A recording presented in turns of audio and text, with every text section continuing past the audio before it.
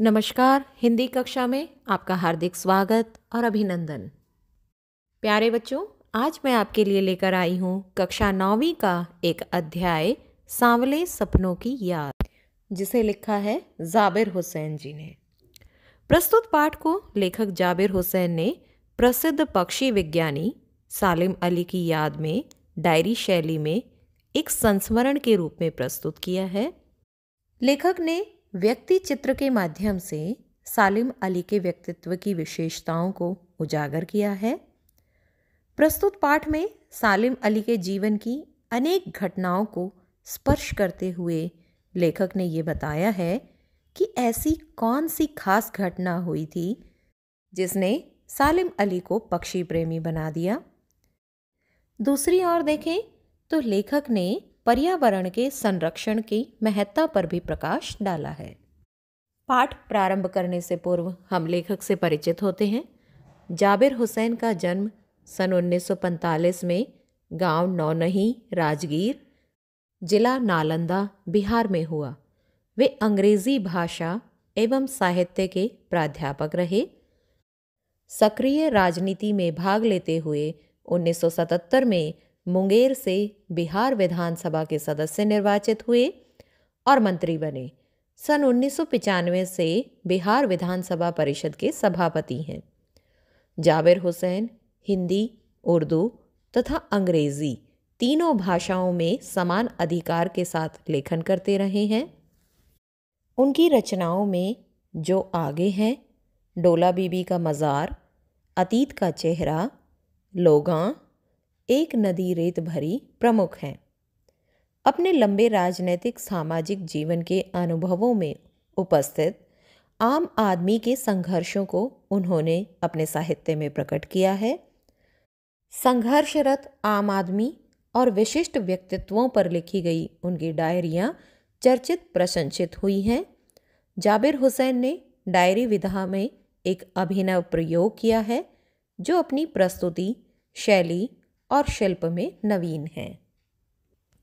प्रस्तुत पाठ, सांवले सपनों की याद, सालिम अली की मृत्यु से उत्पन्न दुख और अवसाद को लेखक ने सांवले सपनों की याद के रूप में व्यक्त किया है। तो हम पाठ प्रारंभ करते हैं। सुनहरे परिंदों के खूबसूरत पंखों पर सवार सांवले सपनों का एक हुजूम, मौत की खामोश वादी की तरफ़ अग्रसर है। कोई रोक टोक सके? कहाँ संभव है? इस हुजूम में आगे आगे चल रहे हैं सालिम अली। अपने कंधों पर सैलानियों की तरह अपने अंतहीन सफ़र का बोझ उठाए। लेकिन उनका ये जो सफ़र है, ये पिछले सफ़रों से बिल्कुल अलग है। क्योंकि जितने भी पिछले सफ़र उन्होंने किए हैं, उनसे लौट आने की उम्मीद थी। लेकिन यह तो आखिरी पलायन है।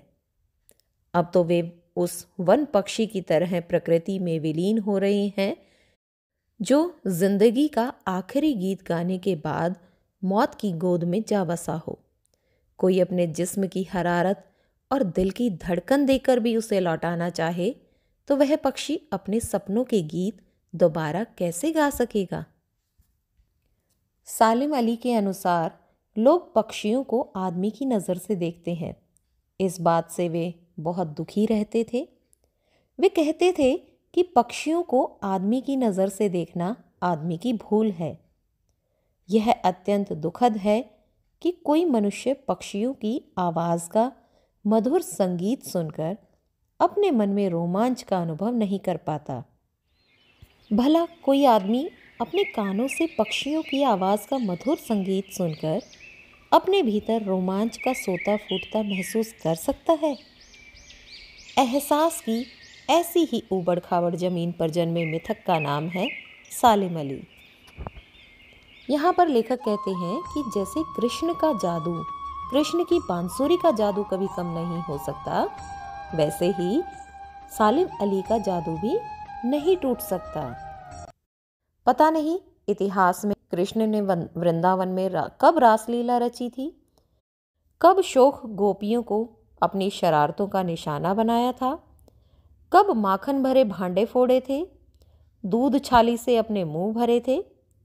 कब वाटिका में छोटे छोटे किंतु घने पेड़ों की छाह में विश्राम किया था? कब दिल की धड़कनों को एकदम से तेज करने वाले अंदाज में बंसी बजाई थी? और पता नहीं कब वृंदावन की पूरी दुनिया संगीत में हो गई थी। आज यदि हम वृंदावन में जाते हैं तो इस जादू को हम महसूस कर सकते हैं। वृंदावन में रहते हुए हम ये एहसास कर सकते हैं कि ये सारा घटनाक्रम हमारे आसपास घटित हो रहा है। कमज़ोर काया वाले सालिम अली को उम्र की क्षति में पहुँचने में थोड़े ही दिन बचे थे। संभव है लंबी यात्राओं की थकान ने उनके शरीर को कमज़ोर कर दिया हो और कैंसर जैसी जानलेवा बीमारी उनकी मौत का कारण बनी हो। लेकिन अंतिम समय तक मौत उनकी आँखों से वो रोशनी छीनने में सफल नहीं हुई, जो पक्षियों की तलाश और उनकी हिफाजत के प्रति समर्पित थी। सालिम अली की आँखों पर चढ़ी दूरबीन उनकी मौत के बाद ही उतरी थी। उनके जैसा बर्ड वॉचर शायद ही कोई हुआ हो। सालिम अली उन लोगों में से थे जो प्रकृति के प्रभाव में आने की बजाय प्रकृति को अपने प्रभाव में लाने के कायल होते हैं। उनके लिए प्रकृति में हर तरफ़ एक हंसती खेलती रहस्य भरी दुनिया पसरी थी। यह दुनिया उन्होंने बड़ी मेहनत से अपने लिए गढ़ी थी और इसे गढ़ने में उनकी जीवन साथी तहमीना का काफ़ी हाथ था। तहमीना स्कूल के दिनों में उनकी सहपाठी रही है। सालिम अली का पक्षियों के प्रति इतना प्रेम है कि वो पक्षियों को दुखी देखकर खुद आहत हो जाते थे। एक दिन केरल की साइलेंट वैली को रेगिस्तानी हवा के झोंकों से बचाने का अनुरोध लेकर वे चौधरी चरण सिंह जी से मिले। अब चौधरी चरण सिंह जी तो गाँव की मिट्टी पर पड़ने वाली पहली बूंद का असर जानने वाले नेता थे। पर्यावरण के संभावित खतरों का जो चित्र सालिम अली ने खींचा, जो चित्र उनके सामने रखा, उनसे चौधरी चरण सिंह जी की आँखें नम हो गई थी। आज सालिम अली नहीं है, चौधरी साहब भी नहीं है। कौन बचा है जो इस सौंधी मिट्टी पर उगी फ़सलों के बीच एक नए भारत की नींव रखने का संकल्प लेगा? कौन बचा है जो अब हिमालय और लद्दाख की बर्फीली ज़मीनों पर जीने वाले पक्षियों की वकालत करेगा? लेखक ने यहाँ पर प्रकृति प्रेमी डी एच लॉरेंस का भी ज़िक्र किया है कि उनकी मौत के बाद जब लोगों ने उनकी पत्नी फ्रीडा लॉरेंस से पूछा कि अपने पति के बारे में कुछ बताइए तो फ्रीडा चाहती तो अपने पति लॉरेंस के बारे में ढेर सारी बातें बता सकती थी, लेकिन उसने क्या कहा कि लॉरेंस के बारे में लिखना मेरे लिए कुछ असंभव है। मुझे महसूस होता है कि मेरी छत पर बैठने वाली गोरैया लॉरेंस के बारे में ढेर सारी बातें जानती है। मतलब कि वो अपना समय अपनी पत्नी से ज़्यादा पक्षियों के साथ बिताते थे। वो गोरैया उनके बारे में ज़्यादा जानती है। फ्रीडा कहती है, लॉरेंस, मेरी रगों में, मेरी हड्डियों में समाया है, लेकिन मेरे लिए कितना कठिन है उसके बारे में अपने अनुभवों को शब्दों का जामा पहनाना। जटिल प्राणियों के लिए सालिम अली हमेशा एक पहेली बने रहेंगे। सालिम अली ने अपनी आत्मकथा फॉल ऑफ़ ए स्पैरो में लिखा है कि किस घटना ने उनके जीवन की दिशा को परिवर्तित कर दिया। बचपन में उनके मामा ने उन्हें एक एयरगन दी और उस एयरगन से खेलते खेलते ही एक गौरैया घायल होकर गिर गई। सालिम अली ने बताया कि नीले कंठ की वह गौरैया सारी ज़िंदगी उन्हें खोज के नए नए रास्तों की तरफ़ ले जाती रही। ज़िंदगी की ऊंचाइयों में उनका विश्वास एक क्षण के लिए भी डिगा नहीं, वो लॉरेंस की तरह नैसर्गिक ज़िंदगी का प्रतिरूप बन गए थे।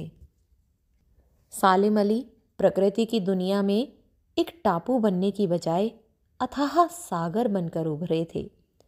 जो लोग उनकी भ्रमणशील स्वभाव और उनकी यायावरी यायावरी मतलब घूमते फिरते रहने का शौक रखने वाला। उनके इस स्वभाव से परिचित हैं, उन्हें महसूस होता है कि वो आज भी पक्षियों की सुराग में ही निकले हैं। और उन बस अभी गले में लंबी दूरबीन लटकाए, अपने खोजपूर्ण नतीजों के साथ लौट आएँगे। जब तक वे नहीं लौटते, क्या उन्हें गया हुआ मान लिया जाए? मेरी आँखें नम हैं, सालिम अली, तुम लौटोगे ना।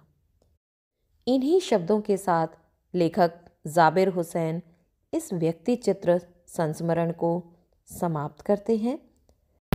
यहीं पर हमारा अध्याय समाप्त होता है। मिलते हैं एक और नए अध्याय के साथ। तब तक के लिए धन्यवाद।